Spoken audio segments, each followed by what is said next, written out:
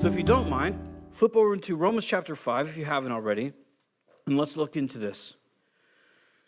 He starts off with, with chapter 5, verse 1. Therefore, since we have been justified by faith, so in everything he's been talking about, 1 through 4, since this is true, we have been justified by faith. Past tense.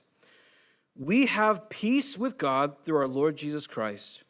Through him, we have also obtained access by faith into this grace in which we stand, and we rejoice in the hope of the glory of God. And not only that, but we rejoice in our sufferings, knowing that our suffering produces endurance, and endurance produces character, and character produces hope. And the hope does not put us to shame, because God's love has been poured into our hearts through his Holy Spirit, who has been given to us. Now, in this beginning, where he begins to kind of break down real life, he goes right to it to suffering. But it's important to says, since we have been justified by faith, and I want to make a side point here because it comes into play. So in biblical, in Bible translation, and this is stuff you can look up for yourself. Uh, there's also a shameless plug. There's a book on the back. It's called "Can We Still Believe the Bible?" It's written by Craig Blomberg, and he'll be here December 4th. He's uh, one of the he's the New Testament poobah at uh, Denver Seminary. So he's actually going to talk about the validity of the scriptures December 4th. Did I say December 4th? It's December 4th uh, at uh, 10 a.m., two sessions. So if you'd like to be part of that, go ahead and sign up. But the point is this the Bible is reliable, okay? Knowing the Bible is reliable, how does it, how does it work? How is it, this is a side note. How is it translated? It's translated because if you had a biology teacher like my biology teacher, they were geniuses. They knew everything, right, in high school.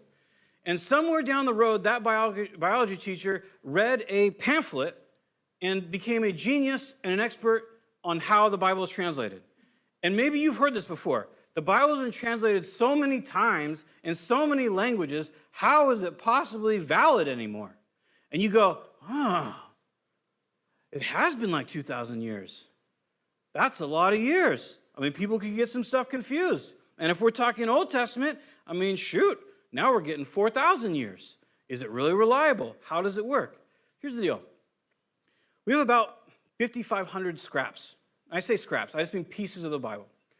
Uh, from all the, way, all the way back to the Aramaic translations that are for about 100 AD and, and on. And, and they're different sizes. Like when I say scraps, you literally have pieces that are like this big that'll have like Greek scrolling on it or Hebrew scrolling, something like that, or Aramaic. And then you have things like the Dead Sea Scrolls, where you have an entire scroll of the book of Isaiah, right? And the cool thing about all these scraps, other than like punctuation or syntax type stuff, there's only 0.05% deviation in those scraps. Does that make sense? So they only argue about 0.05%, meaning they don't match up. Because we don't have like Paul's actual letter. I mean, the Vatican might. They have a ton of stuff locked up, uh, locked up but they don't really let people see that. But so, but what we have, general scholarship for the New Testament, that's, that's what we have, and the Old Testament, that's what we have. And so when they go through and they translate it, it doesn't get translated millions of times with millions of languages. It goes from what we have in Greek, Hebrew, and Aramaic, in Latin, to what you have into English. And all those scraps get considered and, and consulted. So when somebody comes along and they mean well or mean poorly, whatever they mean, and they say, oh, it's been translated so many times and you just can't trust it. It's just not true. It's either said out of ignorance or it's said out of a lie. So we're not here to judge their hearts. Why am I saying that? Because this is one of the places where the, the, the scriptures, they don't completely agree. So what is it? How do we do it? The most reliable ones and the most, uh, some of the oldest ones they have, we have, where it says, Therefore, since we have been justified by faith, we have peace with God. The we isn't actually there in the bulk of them. And the idea is actually the, the, the most likely translation. And I want to be careful here because I'm not trying to change anything. We have peace with God is just as true, okay? But really, the idea that's being communicated here is let us enjoy or let us have the peace of God. In other words, for the purpose of experience, continue in that peace. Does that make sense? We do have peace, and we're told that. Ephesians chapter 4 tells us that. Ephesians 3 tells us that Christ is our peace, okay? But in this gear switch, and it's going to, the, the context for that translation will continue on into the next, the next section here. The idea of letting this peace, let, you know, be in that peace is this. You have peace through Christ, which is the very good news. And when it says you have peace, the idea, the, the Greek is you perpetually always have peace in Christ.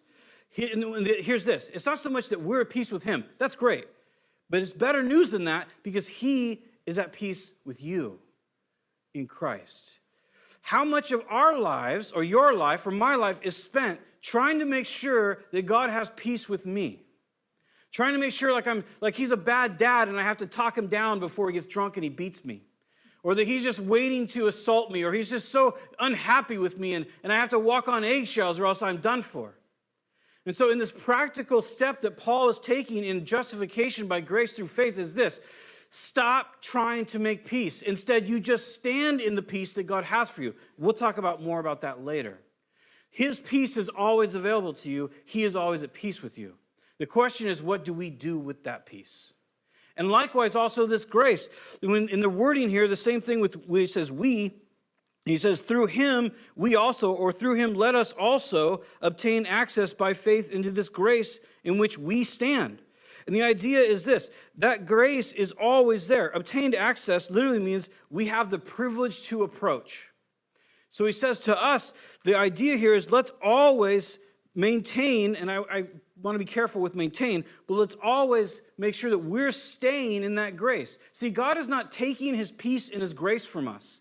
It's not that if we're naughty one day, well, then he says, You don't get my peace because you're naughty and you don't deserve it.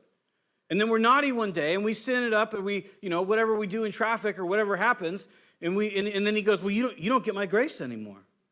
Because you sin, so you don't get my grace. That's the absolute opposite of what he says. We know from Hebrews that we have boldness to come to the throne of grace in our time of need. When do you need grace? Grace is God's unmerited favor. Do you need God's unmerited favor if you could be good enough?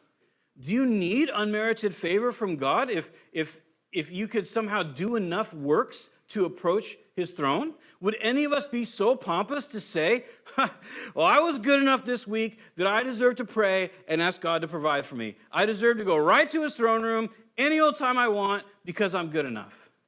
We act like it sometimes in, in, in, in weird ways. I think worship for me is one of the, the most stark ways.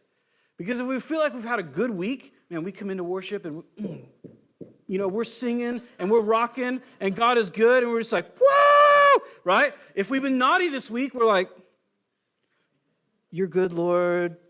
I don't really deserve to be here, right? Isn't that what we do? What are we saying? My standing before your throne, I don't have boldness to come in in a time of need. I don't have boldness because of what Christ did. I only have boldness when I'm good. We try to stand in our own righteousness. But see, what's being communicated here is the way we walk with Christ, it's not that we started with grace and now we stand in our own righteousness. That's cultish. That's weird. That's legalism. We come and worship the Lord because we say, I know I'm unworthy. I know that I failed this week. I'm not proud of it. I'm not boasting in that. But I'm boasting in your grace. I'm boasting in your kindness. I'm boasting that, that Christ was enough. I lift my hands to worship you because Christ is enough. Not because I was good enough to lift my hands. This is a pocket Sunday. This is a hand lift Sunday. But because He's good. There's so many ways where we constantly revert back to this idea if I've been naughty, then grace doesn't apply. And Paul is not saying that. He's saying in the tough things of life, in all things of life, make sure that you continue to stand in God's peace, meaning acknowledging He's at peace with you, acknowledging that He has favor for you, and walking in the love He has for you. And He's going to describe that love a little bit.